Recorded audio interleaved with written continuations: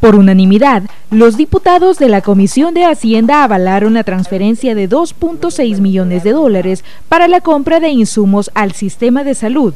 Los fondos provienen de la deuda política cancelada hace algunas semanas por el FMLN aunque se harán algunas consultas a la titular de salud.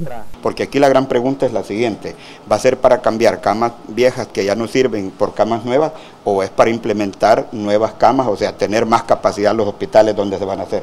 O sea, esas preguntas todavía las tenemos, creemos que es importante ahora que venga la ministra para poder ratificar.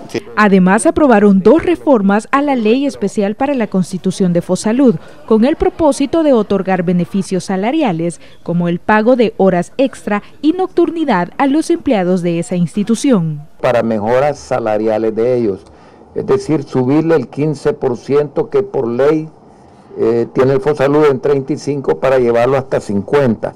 Y la otra que del resto del 50 al 100% se destine para pagar salarios eh, de médicos en año social, médicos haciendo su internado y también de odontólogos haciendo año social. Los diputados también acordaron solicitar la presencia del ministro de Hacienda para que explique una reforma a la ley del presupuesto y reorientar 42.690.047 dólares que reforzarán las carteras de salud, educación, seguridad y trabajo.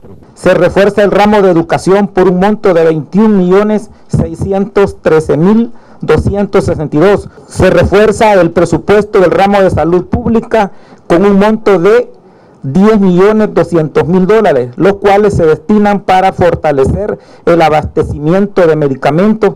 Es importante que venga el señor ministro, explique bien cómo está esta situación, porque va a incrementarse en 42 millones gasto corriente.